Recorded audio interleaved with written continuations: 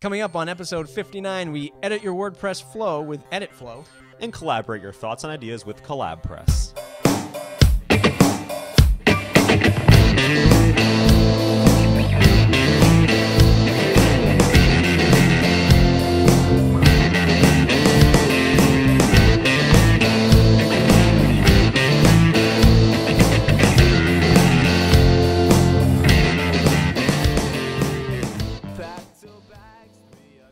Hey, everybody, welcome to episode 59 of Press This. I'm your host, Matt. And I'm Dan. Uh, this is the show where we take awesome stuff in the WordPress world, smash it together, put some context around it, and say, here's what you can do with said plugin, theme, or WordPress service.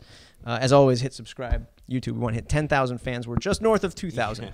So, quickly becoming the number one WordPress Yes. Web show. And Quickly becoming. quickly. Only It only took a year to get this far. We are. Uh, like, like what we do, leave us a comment. Uh, let us know what you want to talk about. And what are we talking about today, Dan? We are talking about something that is near and dear to my heart, which is sort of copywriting, news flow, things like that. Um, so we're going to be talking about two plugins today that are going to allow you, if you're you know part of a magazine or you're looking for a place to create a website uh, for a blog or whatnot, um, Edit Flow and Collab Press.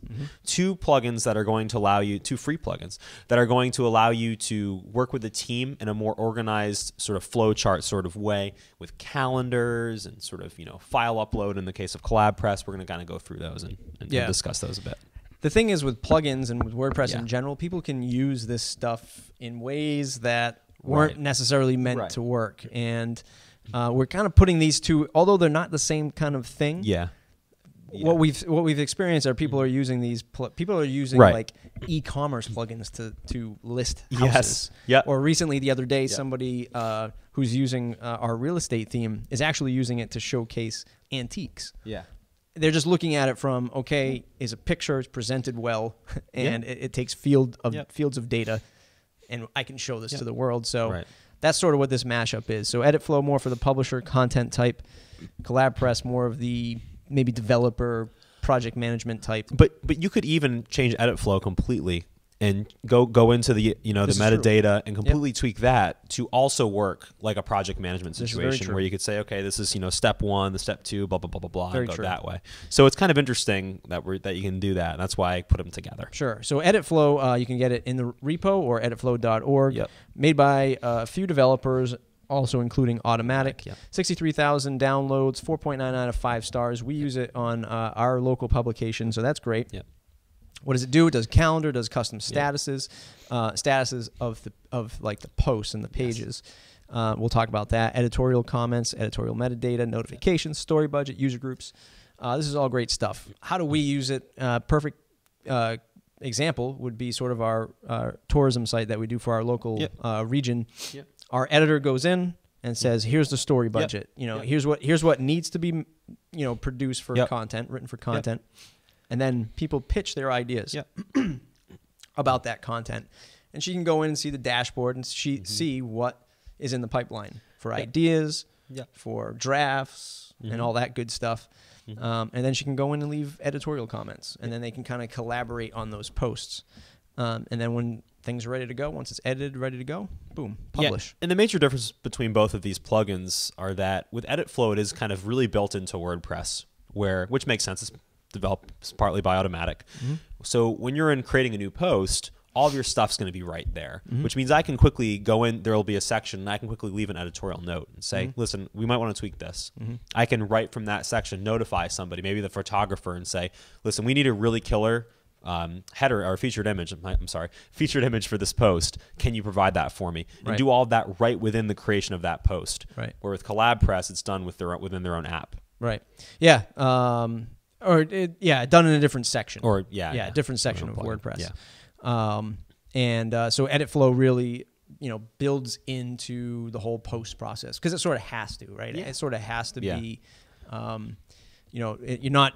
I guess what you're what you're trying to say is, I guess if we had Yeah. Edit Flow versus Collab Press Yeah. for for editing for editorial calendars, yeah, you would have to go to one section of Collab Press and just read all the updates there. Yeah. Whereas Edit Flow will kind of inline that stuff right into the post. into the Makes it a little bit easier. Right. Cool. Um, Could have said it better myself. so Apparently, I did. so so edit flow would be uh, the preferred choice for sort of that editorial calendar. Um, any any other insights from you with using the plugin and checking it out? As far as using Edit Flow, Yeah.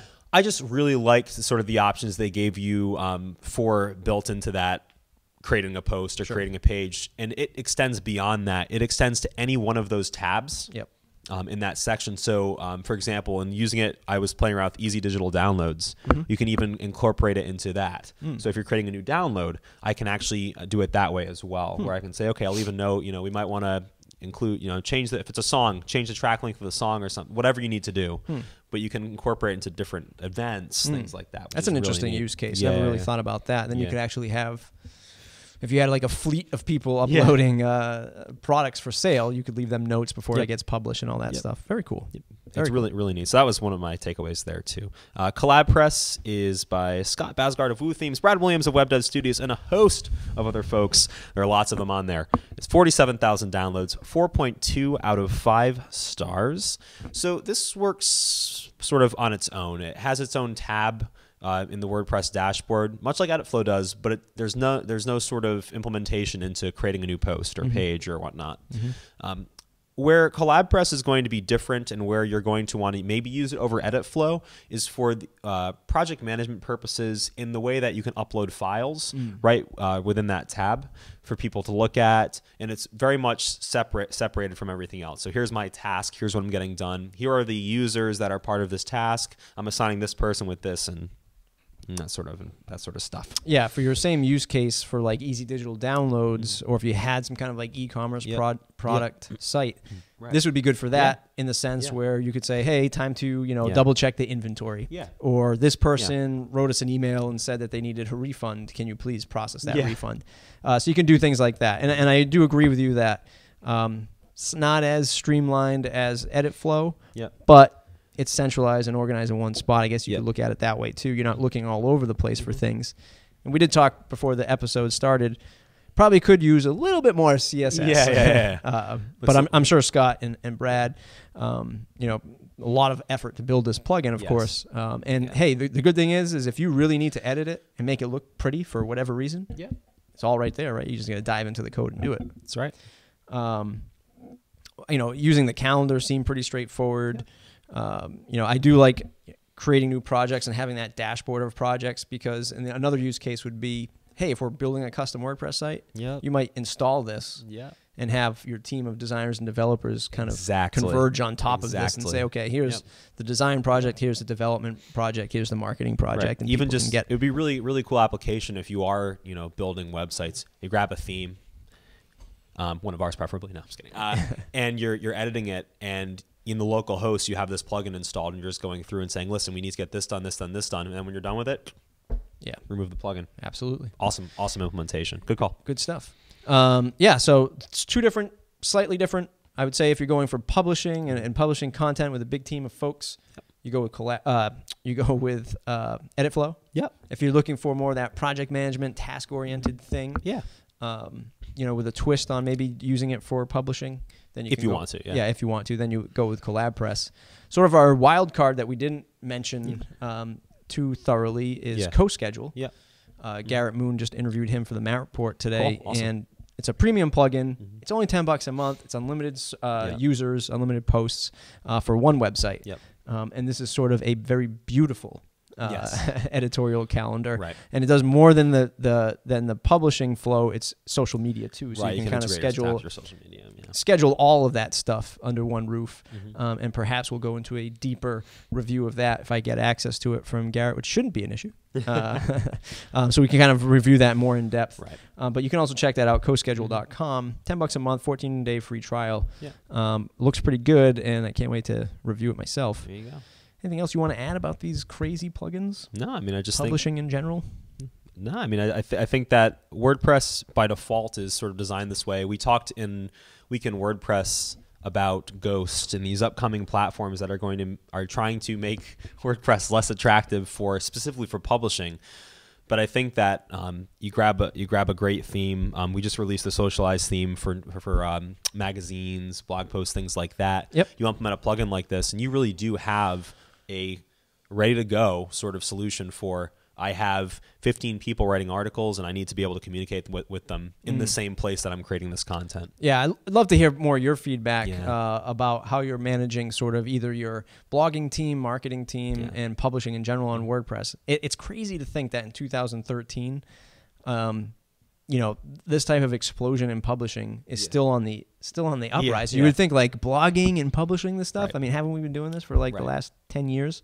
What's up, people? uh, but no, it's still continuing to grow, and WordPress is definitely in a good position Absolutely. for all this stuff going on. Absolutely. Uh, as always, find us slocumstudio.com, slocumstudio.com slash subscribe. Join the mailing list where this guy will send you awesome stuff every month. Um, check out the themes that we've done. Like Dan said, Socialize is tremendously popular, and Mhm. we thank everybody who's been purchasing it. Mhm. Um, check that out, slocumstudio.com slash WordPress themes. Mhm. You can see more of that. Uh, as always, hit the subscribe button, check us out. Yeah. What else do you want to see on the show? uh, we're always getting comments, Yes. emails, suggestions. Let us know in the comments. Google Plus Yes. is now it's integrated now the comment comments. place for YouTube. No more trolling. Yes. Let's hope so. Not that we get a lot of that stuff. Uh, all right, everybody. Thanks a lot, and Thanks. we'll see you next time. Thanks a lot, guys.